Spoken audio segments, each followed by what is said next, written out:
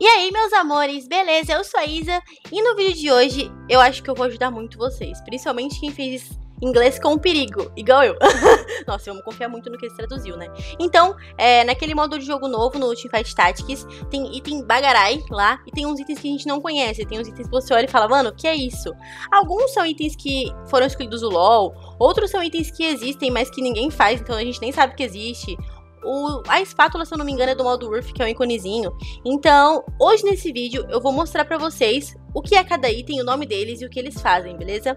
Ah, e quando você funde um com outro também, o que acontece? Eu não fiz isso aqui, né, porque tá em inglês, eu não sei falar nem português.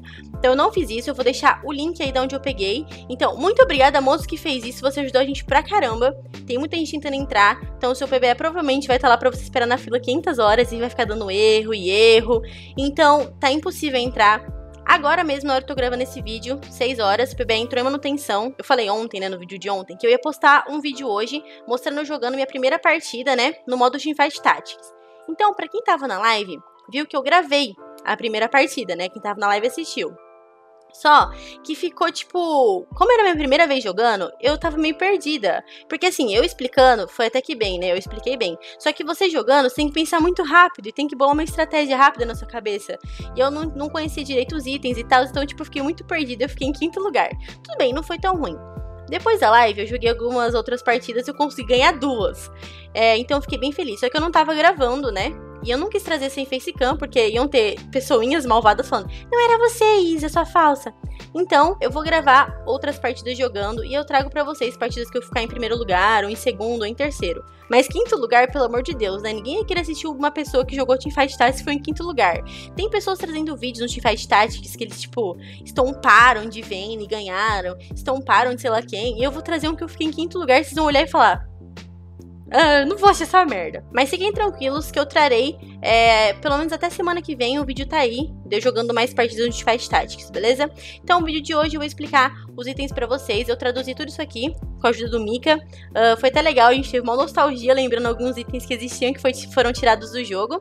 E aqui eu vou estar tá falando pra vocês. Muito obrigada, moço, que criou o post em inglês. Thank you very much dá like, compartilha com seus amigos. Eu acho que eu sou a primeira BR que tá fazendo vídeo falando dos itens. Pelo menos eu não vi nenhum canal BR falando dos itens. Deixa um comentário aí também, né? Nem que seja. Thank you, Isa. É nóis. Yazid. É, Fisk. Espero que ajude vocês. É, vocês podem fazer uma colinha, né? Ficar com um guia aí dos itens, caso vocês precisem usar na partida. Fechou? Então é isso aí, bora pro vídeo. Então, gente, os itens são a BF, né? Espada BF, agora é GPC, arco recurvo, cota de malha, a capa Negatron, bastão desnecessariamente grande, é a gota, né? Lágrima da deusa, mais conhecida como gota, o item do EZ cinto do gigante e espátula. Espátula aqui, ela é um íconezinho do Earth. Eu não sei se ela existe no Earth um item, mas tem um íconezinho do Earth.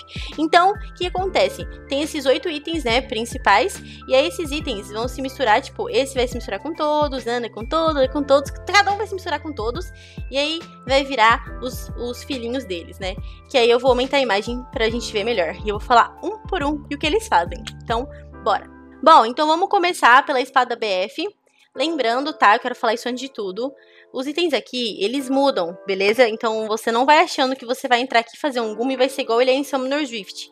Tá, isso aqui é outro modo de jogo, esquece, finge que não é da Riot Games. Os itens não vão ser a mesma coisa. Alguns podem ter algumas coisas iguais, passivo, alguma coisa assim. É, o atributo que ele vai dar não vai ser igual, tá? E eu vou lendo pra eu não falar errado, porque eu não importo de ler, só não quero passar errado pra vocês. É, a ordem dos fatores não altera o produto. Então, se você fizer, colocar primeiro uma BF lá no campeão e depois colocar um arco recurvo, ele vai fazer essa espada do divino. Se você colocar primeiro um arco recurvo e depois uma BF, ele também vai fazer a espada de divino. De divino, do divino. Então a ordem dos fatores não altera o produto, vai dar o mesmo atributo. Caraca, eu fiz uma rima, velho! Quem fez uma rima gravando um vídeo de item? Nossa, Mika. Gente, me divulga. Fala que eu sou poeta. então, bora lá. Então, a espada BF, ela vai dar... Ela vai dar mais 20 de dano de ataque pra você. Se você fizer com uma outra espada BF, você vai fazer, você vai ter um gume, né? Uh, então você vai ter 40 de dano de ataque, porque vai ter o 20 de uma BF com 20 da outra BF, vai ter 40 de dano de ataque. E mais o, a, o atributo que o, que o Gumi dá, que o seu dano de golpe crítico, ele é aumentado em 100%. Se você fizer uma espada BF com um arco recurvo, você vai ter a espada do divino, que ela dá 5% de chance a cada segundo de ganhar 100% de chance de acerto crítico. Entendedores entenderão. Se você fizer uma espada BF e um bastão desnecessariamente grande, você vai ter uma pistola laminar Rextech. Ela vai curar 25% do dano causado. Se você fizer o ABF com a gota, você vai ter uma lâmina de Shoshin, que depois de conjurar uma habilidade, recebe 20% de mana por ataque. Então você vai tacar uma habilidade e os seus ataques que você der depois que você tacar essa habilidade vão recuperar 25% da mana. Se você fizer uma BF com a cota de malha, você vai ganhar um anjo guardião.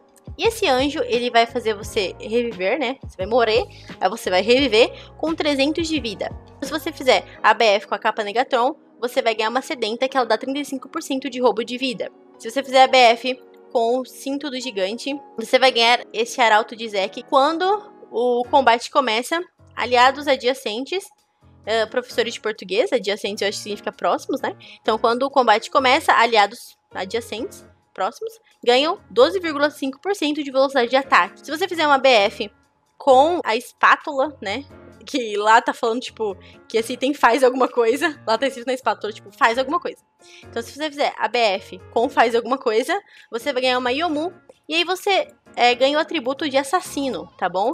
Então, se você é ninja e glacial, né? Que tem as classes do, dos bonequinhos lá. Então, se você é ninja e glacial, você vai ganhar a mais o atributo de assassino, beleza? Então, lembra que eu falei para vocês que lá no cantinho quem não viu meu vídeo, também vou deixar aqui na, na descrição o meu vídeo que eu explico como que joga esse modo. E aí, lá no cantinho tem os buffs que você ganha. Então vamos supor, se você colocar três assassinos, eu tô falando um supor, tá? Não lembro exatamente. Se você colocar três assassinos no campo, você vai ganhar um atributo lá. Então vamos supor que você já tem dois assassinos no campo e o outro campeão que você tem lá é um sei lá, um pirata, da classe pirata. E aí você coloca Yomu nesse pirata. Aí ele também vai virar um assassino. Aí você vai ficar com três assassinos em campo e aí você vai ganhar o atributo, o buff é, de assassino. Fechou? Então é isso que o Yomu faz. Bom, agora vamos para o arco recurvo. O arco recurvo, pessoal, então ele dá mais 20% de velocidade de ataque. Se você fizer o arco recurvo com a, G a GPC, você vai ganhar a espada do divino, que eu já falei o que ela faz. É a mesma coisa, não muda o atributo. Se você juntar um arco recurvo com outro arco recurvo, você vai ganhar o canhão fumegante. O que ele faz, ó, ele dobra o seu alcance de ataque e os ataques, eles não podem ser desviados. Então, se o, o cara fizer algum item que desvia o seu ataque básico, você não vai erar os seus ataques básicos, ele não vai conseguir desviar. Então, o canhão faz isso. Se você fizer um arco recurvo e um bastão desnecessariamente grande, você vai ganhar um Guinzo. E o atributo dele é ganhe 5% de acúmulo na velocidade de ataque ao acertar e também você tem acúmulos infinitos. Se você fizer o arco recurvo com a gota, você vai conseguir a static. A cada terceiro ataque recebe 100 de dano mágico. Se você fizer um arco recurvo, mas uma cota de malha, você vai conseguir uma dançarina fantasma. Mano, esse aqui é um item muito roubado. A dançarina fantasma, ela faz você desviar, né? Você vai evitar todos os acertos críticos do inimigo. Então, tipo, se tiver uma, uma Vayne full crítico, tipo, todos os ataques básicos dela tá dando crítico, você vai desviar de todos os ataques básicos dela, dos críticos. Tipo, mano, que é muito roubado essa dançarina fantasma. Se você fizer um arco recurvo com a capa Negatron, você vai ganhar esse item estranho bagarai que chama Lâmina Amaldiçoada. Eu não lembro se existia antigamente em Summoner's Rift. É, essa lâmina amaldiçoada, o que acontece? Vou resumir. Você tira uma estrela do cara. Lembra que eu falei que cada campeão pode chegar no level 3? Então, cada campeão é, pode chegar no level. Tem o levelzinho 1 dele, que é o básico, né? Tem o level 2 e tem o level 3. Se você tiver essa lâmina amaldiçoada, você tem chance de tirar uma estrela do cara. Então, tipo, se ele tá level 3, você tem chance de fazer ele virar level 2.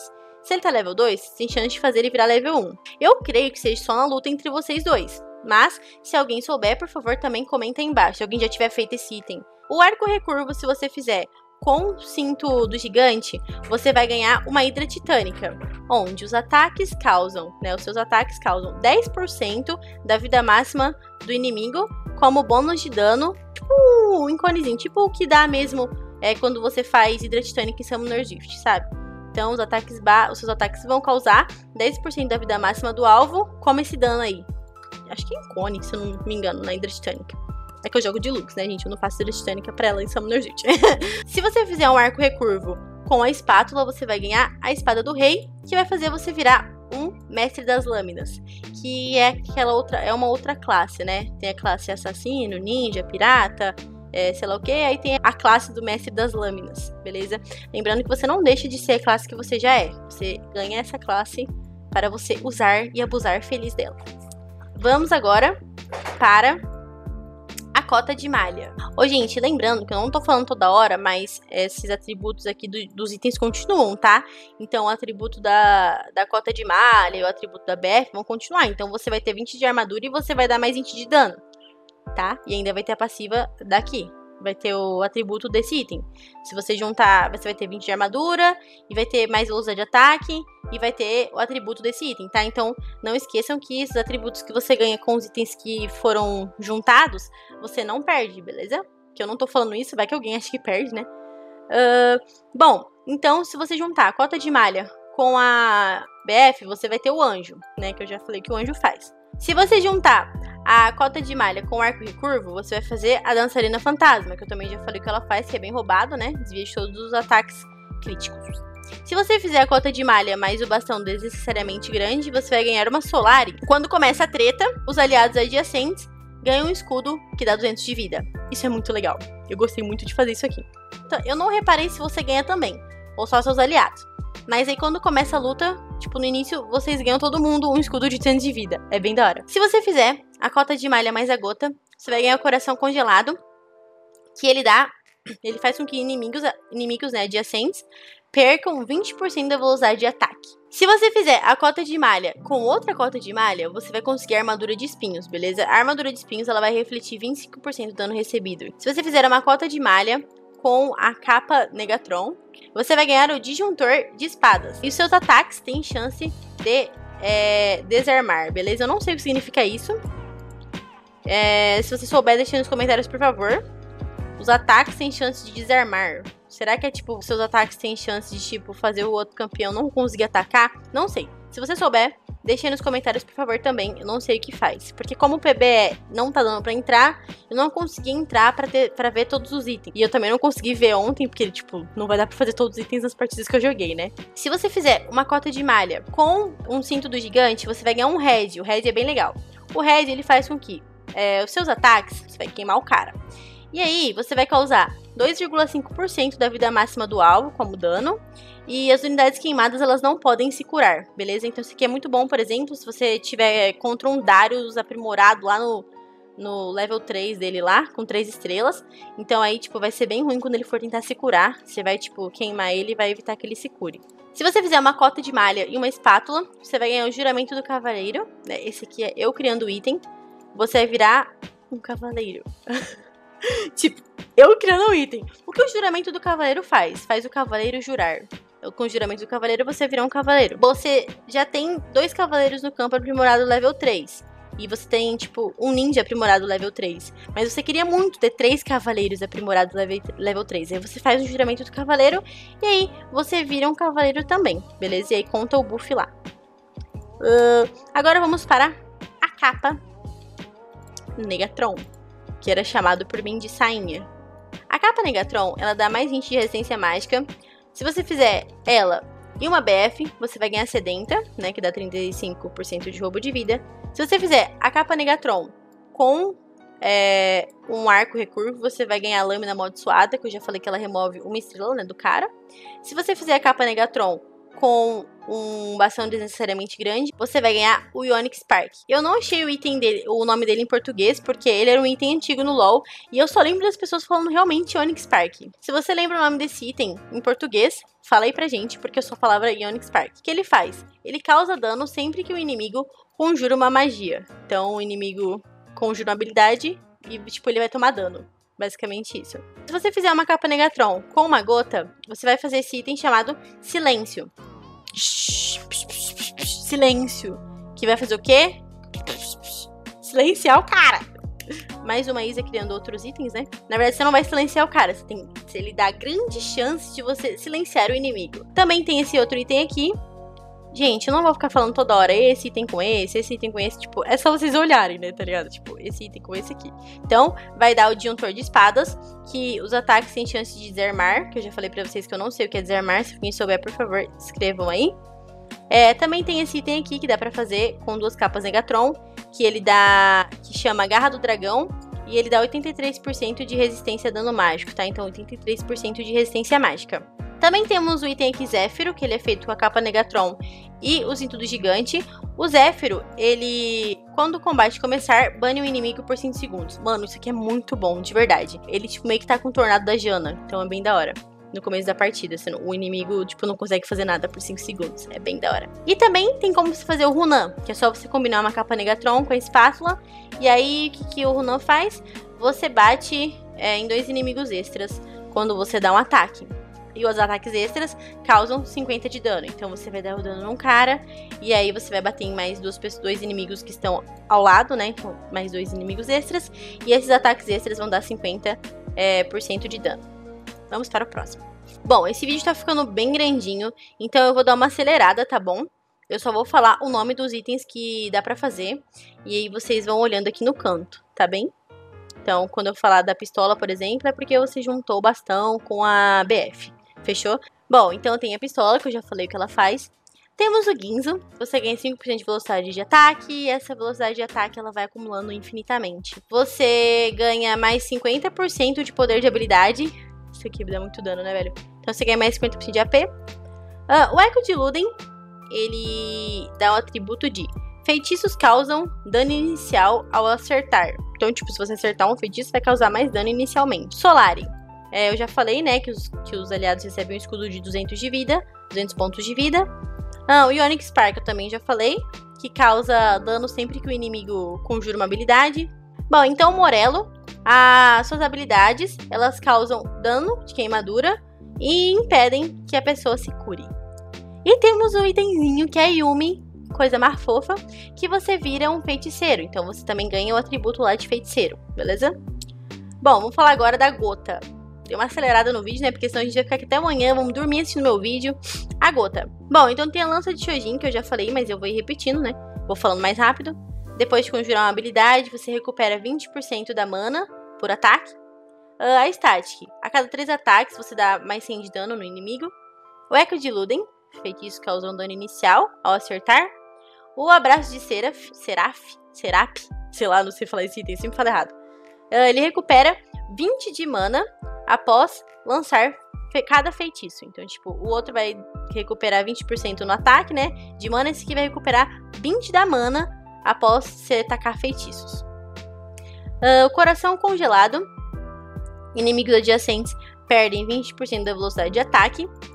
O silêncio. Os inimigos não conseguem. Tipo, eles ficam silenciados, né? Tem chance de. Uma grande chance de silenciar o alvo. Redenção. Quando você morre, você cura os aliados próximos com mil pontos de vida. Tipo, é bom, mas não é. Porque, vamos supor, você morre lá no canto do além. Aí, sei lá, o cara que precisa ser curado tá longe de você. Aí você não vai curar ele. Então é tipo, é bom, mas é ruim. O Darkin, outro item aqui que eu não tinha falado.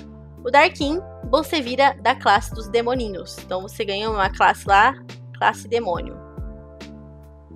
Tipo, se você é pirata e assassino, você também ganha classe demônio. Uhul! Vira um Atroxão bombado. Agora o cinto do gigante. O Arauto de Zek Uh, quando o combate começa, aliados adjacentes ganham 12,5% de velocidade de ataque. A Hidra Titânica também já expliquei, que os ataques causam 10% da vida máxima do alvo como bônus de dano. Uh, nos cantos, né? Igual é, lá em Summoner's Rift, meio que em cone, assim. Uh, o Morello, suas habilidades causam dano de queimadura e também impedem que o inimigo se cure. A redenção, também já falei, que é o tipo, é ruim, mas é bom. Uh, o Red, os ataques que eles queimam. Gente, ó, eu tinha achado que o Morello era parecido com o Red, mas não é. Porque o Morello é nas magias. E o Red é no ataque básico. Então, tipo, os seus ataques deixam o cara queimando. É, e também dá dano baseado na vida máxima do alvo. Então, o Red é mais legal se você for fazer pra, pra um campeão que ataca, tipo, dá ataque básico, né? E o Morello, os campeões que usam magia. Então, achei que era igual, mas, tipo, é parecido, mas não é igual. Bom, também temos o Zéfiro, que eu já falei que tipo, é muito da hora. uma vez eu. A partida que eu ganhei, eu combei Zéfiro com o Solari. Aí, tipo, ficava um campeão banido por 5 segundos e todo o meu time tinha um escudo. Então é muito roubado combinar Zéfiro com Solari. E o Armog regenera 5% da vida por segundo. E o Malho Congelado faz você ganhar a, a classe glacial, beleza? Isso aqui, essa classe glacial é da hora. A passiva dela que você estuna os caras. Ah, e agora vamos pra espátula, que é o iconezinho do Earth. Choremos. Um minuto de silêncio para o Earth. Mentira que esse vídeo tá muito grande. A Yomu, ela faz você virar da classe assassino. Uh, a espada do rei, você vira da classe do mestre das lâminas. A Yumizinha, você vira um feiticeiro. O Darkin, você também ganha, vira um demônio, né? O juramento do cavaleiro, você vira um cavaleiro. Uh, para, basicamente, né, quando você junta espátula com algum item, você vai conseguir, né, ganhar uma outra classe. Basicamente isso. Se você combinar a espátula com a com o Negatron, você vai fazer Runan, que você vai causar o dano em outros dois inimigos, você vai bater em três carinha. E quando pegar nos outros dois, sem ser o que você tá focando, vai dar 50% de dano, também já falei. O malho congelado, você vira um glacial, né? Você também ganha o, a classe glacial. E essa força da natureza é bem da hora. Ela, tipo assim, vamos supor, está level 5, você faz essa força da natureza, e aí você pode, tipo, você tá level 5, você pode colocar seis bonequinhos lá. Porque para quem não sabe, que eu expliquei no meu vídeo que eu vou deixar na descrição, quando você tá level 5, você só pode colocar 5 campeões no campo. Se você tiver esse item, se você tiver level 5, você pode colocar 6 campeões no campo. Então isso é muito da hora. Beleza? Bom, gente, então, acabamos por aqui. Ufa, o vídeo deu bem grandinho, mas também tem item pra caramba, cara. Tipo, tem bastante item. Uh, eu não sei se a Riot, a cada atualização, né, cada atualização de patch, ela vai implementando novos itens, mudando outros, tirando. Provavelmente pode ser que ela faça isso, né, porque, tipo, LoL tem muito item que foi removido do jogo, lá de Summoner's Rift, itens novos que foram colocados, então tem muito item pra Riot fazer a festa.